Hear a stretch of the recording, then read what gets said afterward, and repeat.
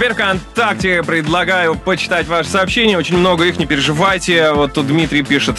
Поздравляем Прохор Юлю с днем рождения и много-много приятных э, пожеланий в, в виде стихотворных срок. Э, поздравляем мы. Тоже присоединяемся от Русского радио. Вам самое-самое приятное и самое-самое хорошее отправляется от бабушки Тони, также мамы Гали и брата Димы. Это э, Могилев, Республика Беларусь. Русское радио, э, передайте, пожалуйста, привет с